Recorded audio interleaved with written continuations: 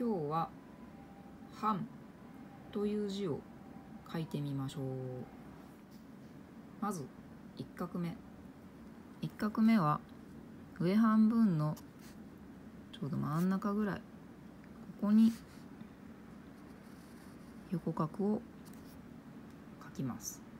この横角は縦の中心に対して1対1になるように書いていきましょう。2画目。2画目は1画目の書き始めと同じ位置から始まってゆったり長く左払いします。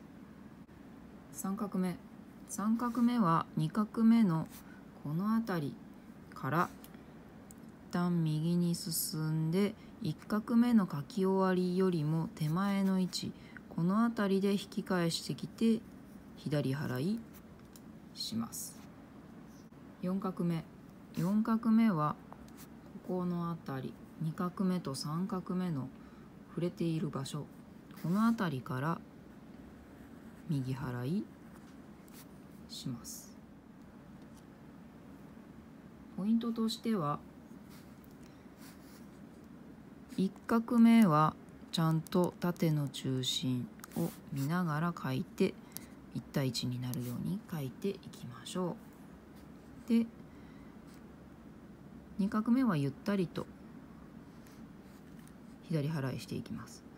あとは3画目は1画目の書き終わりよりも短くこのぐらい短く折れ曲がってきて左払いします。であとは2画目の左払いと4画目の右払いの終わり底辺を同じぐらいの高さになるように払っていくといいでしょう。あとはここの払いの交わったところですね。3画目と4画目の交わったところが縦の中心に来るとベストです。